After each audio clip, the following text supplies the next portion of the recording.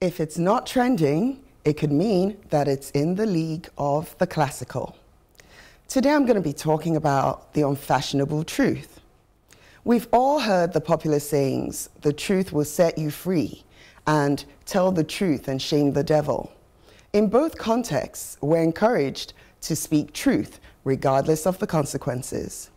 Most parents try to instill this in their kids from an early age, but as they enter adulthood, something happens. We begin to realize that we're only allowed to tell the truth as long as no one's feelings gets hurt.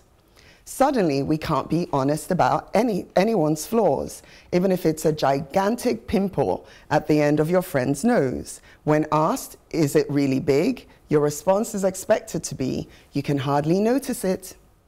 As liberalism began to gain ground, so did a movement called political correctness. Now we're no longer allowed to speak our minds if it goes against the current narrative. For example, if a man says he's a woman, then regardless of what you know to be true, he must be addressed as he demands, and failure to do so could result in a lawsuit. We now live in a society where truth is often silenced and replaced with falsehood or relative truth, sometimes referred to as my truth. Propaganda is used to run governments, and lying has become perfectly acceptable if you think you have a good reason. When did we become so allergic to the truth? It probably stems from our quest to satisfy self. We all want to do and be whatever we want and silence any opposition. Relationships are more sycophantic than honest, in my opinion. Morality is at an all time low as people live unruly, debauched, dishonest lives with no one to correct them for fear of being labeled judgmental it appears that corruption and hypocrisy is at an all-time high. I am of the opinion that truth is fast becoming very scarce, a very scarce commodity. If we want to see an improvement in the way our societies and relationships are run, then we need to go back to the days when honesty was golden and truth was sacred.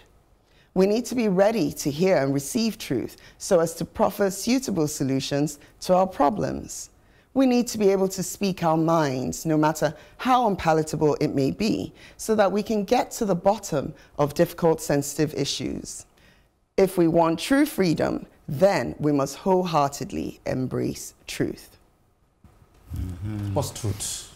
Hmm. He's gone philosophical That's a good question. yeah. What's because true? what's truth to you might not be truth to me, depending Absolutely. on the. And, and so for me, I like they say, like we say, there to every story there are three sides. And so supporting your position now, mm. my side, your side, and the truth. The truth is always constant, mm. um, depending on whether you witness, you know, the event or not. But you know, I also understand the truth you're talking about. Mm um, yeah, growing up, they tell you speak the truth always, speak mm. the truth always. It depends on that same truth also. uh, in some cases, it is constant. It is in some other cases, it is not constant.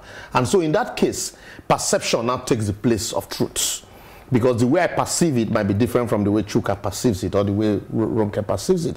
And, and so if I speak from my perception, from where I'm standing, that might be my truth, but not your truth. Mm. And from the opposition also, when you speak your own truth, it might be different from my truth. So in that case, you know, so people now trying to tend to find a balance, you know, and, and, and so that's why I think, but you, you know, with uh, politics involving most of these things, it is also very difficult now to have a universal truth. Mm. Uh, or most especially also when you also have a system of government that is different from one another. Mm -hmm. and, and, and, and, and, so that, that's, you know, a, a bit philosophical though. Yeah, well, it broadened it, it, is, the... It is a philosophical... Um, no, but also, I mean, I, I think when she was, she was dealing with people who are, in a way, they want to be lied to. That's the mm, impression yes, I get. Yes. So, so you're, people like, you know, when he was talking about the mommy oyo yo some time back, you know, you want to surround yourself with praise singers, people who come and tell you how great thou art.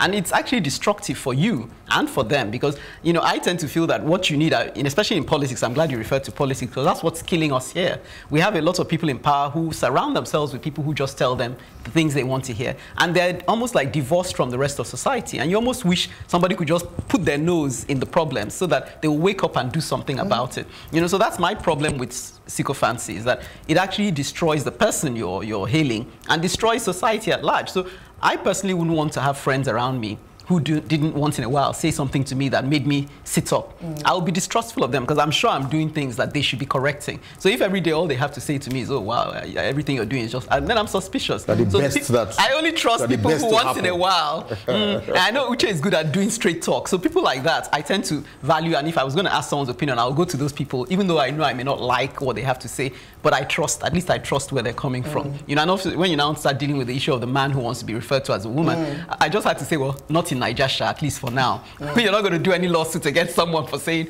you're not a man. you're, you're well, a, man, a, a, woman cannot be a man, and a man cannot be there a man. There you go. That is but it's how he feels. He feels he's a woman. Truth. Mm. And no matter how the man feels, mm we're not here to deal with feelings. Yes. That so that's why you're now isolating truth. Yeah, yeah, you know, not, he's a man. If he wants to feel like a woman, no that's problem. He tells certain people, mm. treat me like you can't woman. now tell me I should feel. Who was? it? There's a transgender man who just recently had a baby from the. From it was the in the news. He's, a, he's had a baby. Yeah, he must have done something. Anyway, anyway, There's also somebody who says he will be referred to as they. Mm. I, I can't yes. What does that mean? Yes. Yeah. They, that that threw me. They're called non-binary. Yeah. These are now known as non-binary yeah. individuals. So you talk and, about they, and they are called they, and they have yeah. babies, yeah. as in babies that are they. Neither men they nor women. They don't raise these babies boys or girls. as boys or girls. They don't even tell them. The they wait for the baby to, to feel to, to grow into a child and say, you know what I feel like a dog, and then they might raise yeah, the baby right, as a dog. Okay. So, you know? so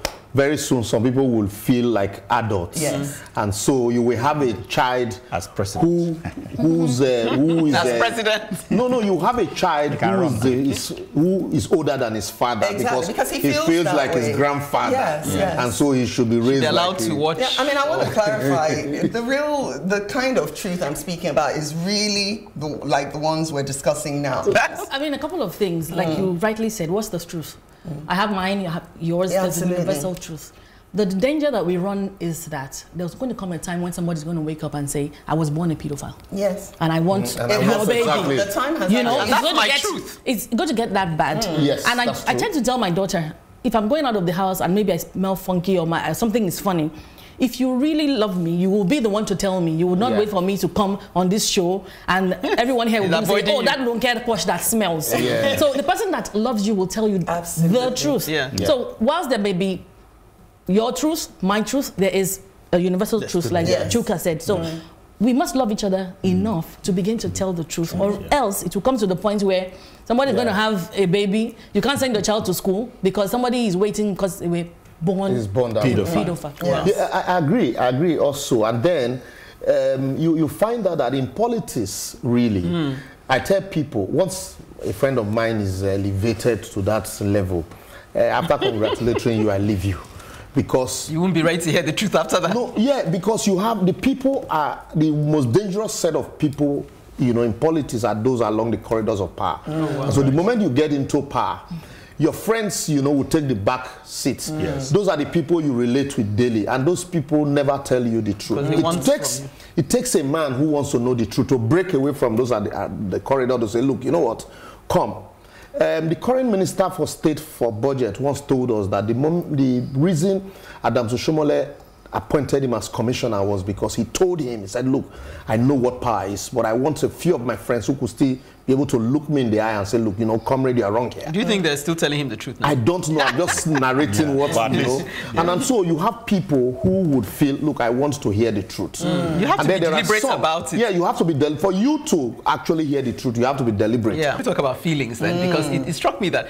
I, I don't see myself as someone who would ever lie you know, I know it sounds extreme to some people because they think everybody lies, mm. but I don't see myself. However, I'm not about to hurt someone's feelings by, so I have to think hard you know, so it takes it takes something. I have to assess how critical that thing is, and whether you're even ready to receive it before I now approach you, and if it's a make or break issue. So these are things I weigh before I now come and sit you down and say. Yeah, that's true because not, not everybody wants to hear. And not everybody's ready to hear too. I so think many people are ready them. to hear if it's constructive. Okay, so how, so how, you present how you present it. If it's yes, constructive, so if, how if, you tell me if go I to do a presentation mm. and there's a typographical error in it, and you say, oh, this doesn't look good on your school there's a typographical error in it. Mm. Or if you dig because you want to hurt my feelings. Yeah, that's and that's different because you find that in a lot of childhood friends, when one steps up and is doing better than the others, then the dig comes. Mm. And then you find that your real friends will be the ones that will tell you the truth that, oh, like I was coming out, my, I sent my pictures to my friend, what do I look like, my makeup, they'll be like, oh, this one is that, that one, that constructive feedback. Okay. Yeah. Okay. Oh, no, I like that. Okay, well, you heard us. Standing apart from the crowd is often underrated. After the break, Chuka is set to go maverick on us. What's new, Chuka?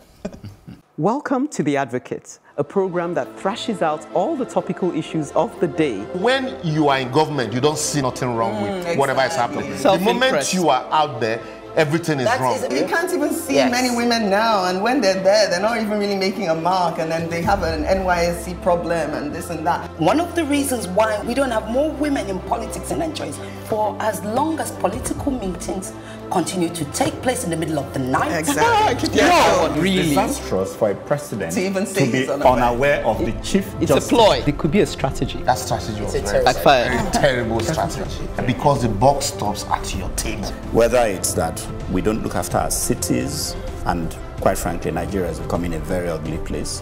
When you are the only one feeding the people with this news and there is nobody countering them, it becomes, you know, the, the news.